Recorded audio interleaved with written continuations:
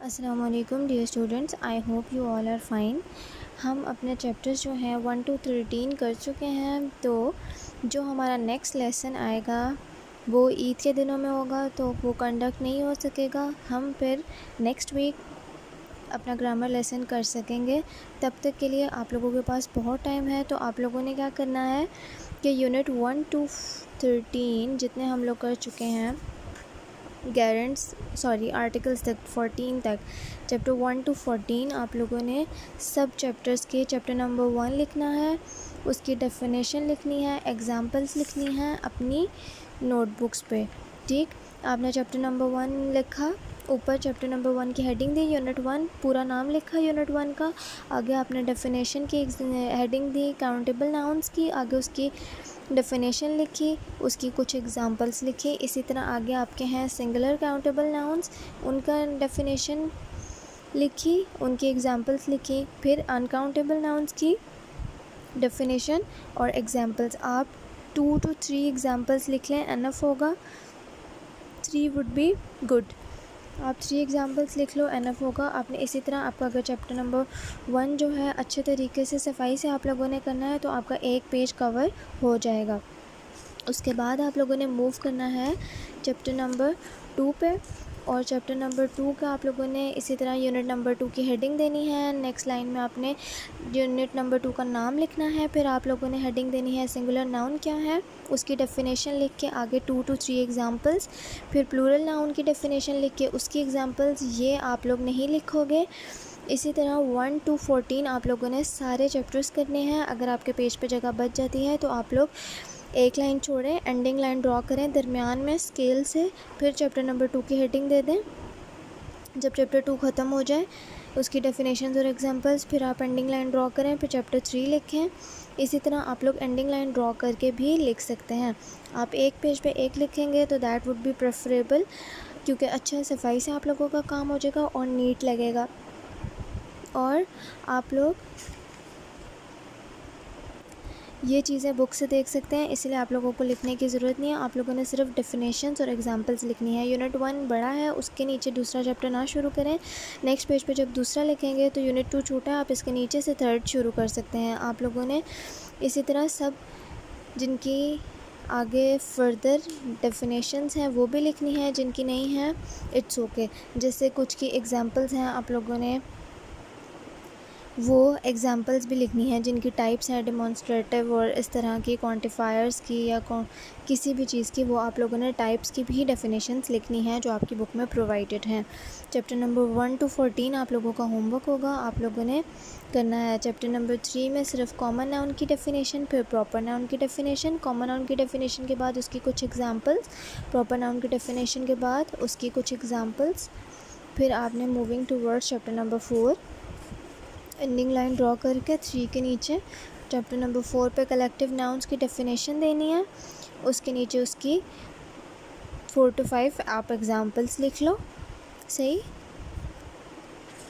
फिर एग्ज़ाम्पल्स आपकी किस तरह से होंगी? जो आपकी लाइन के नीचे आप लोगों ने अंडरलाइन करना है। आपने फॉर एग्ज़ाम्पल ये लाइन लिखी एग्ज़ाम्पल में नंबर वन और नीचे आर्मी को अंडरलाइन कर दिया। इस तरह से आपकी एग्ज़ाम्पल्स होंगी। एग्ज़ाम्पल्स वर्ड्स में नहीं होंगे।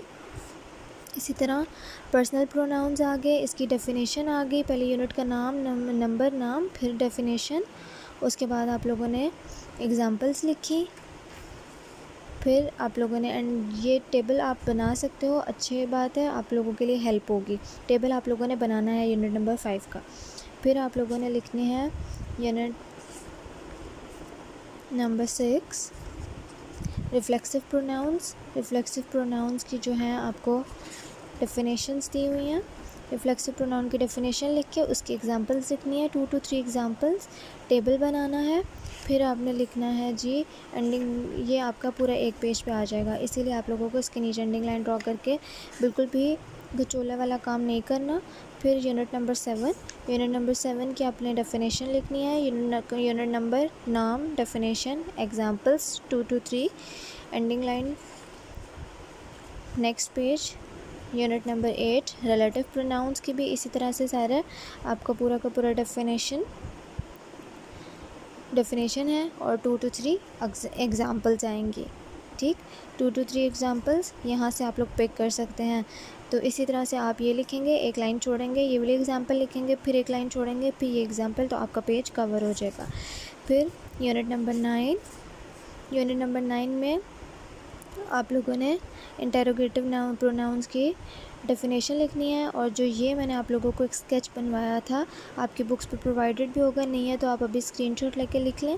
ये भी लिखना है।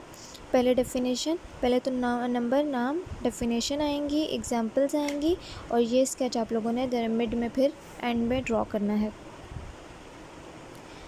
Moving towards unit number ten unit number ten में आप लोगों के रेगुलर और इरेगुलर वर्ब्स हैं। रेगुलर वर्ब के आप लोग लिखेंगे? डेफिनेशन और सिर्फ़ टू टू थ्री एग्ज़ाम्पल्स जो आप इसी तरह से तीन वो बना के ब्लॉक्स लिखेंगे थ्री एग्ज़ाम्पल्स फिर आप लिखेंगे some regular verbs with Y फिर उसकी टू टू थ्री एग्ज़ाम्पल्स फिर वर्ब्स विद जिसमें हम डबल द लेटर कर देते हैं।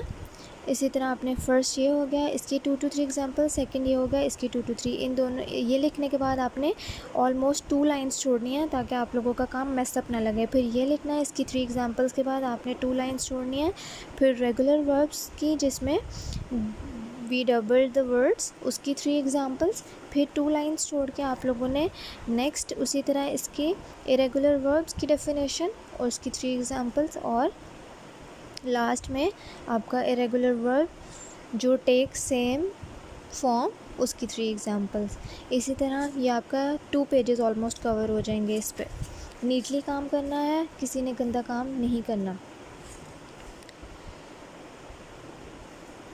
चैप्टर नंबर अलेवन मैंने आप लोगों को एक्सटेंडेड डेफिनेशंस कराई थी। ट्रांजिटिव और ट्रांजिटिव की आपने एक्सटेंडेड डेफिनेशंस ही करनी है। आप लोग पहली डेफिनेशन लिखोगे, आगे उसकी examples two examples would be enough two और थ्री फिर आगे सेकंड इन ट्रांजिटिव उसकी two two three examples would be enough extended definition जो मैंने आपको लिखवाई हुई है, वो करनी है। यूनिट नंबर ट्वेल्व में इसी तरह से यूनिट का नंबर फिर यूनिट का पूरा नाम, फिर आपने पार्टिसिपल्स होते क्या हैं, फिर प्रेजेंट पार्टिसिपल्स क्या हैं, और फिर पास पार्टिसिपल्स क्या हैं। प्रेजेंट पार्टिसिपल्स की पूरी डेफिनेशन और उसकी two examples two two three फिर पास पार्टिसिपल पूरा और उसकी टू टू थ्री एग्जांपल्स ये भी आपका पूरा पेज कवर हो जाएगा। Moving to unit number thirteen unit number thirteen है हमारा गैरेंट्स गैरेंट्स में भी आपने एक्सटेंडेड डेफिनेशन करनी है, पूरी डेफिनेशन और उसकी two two three examples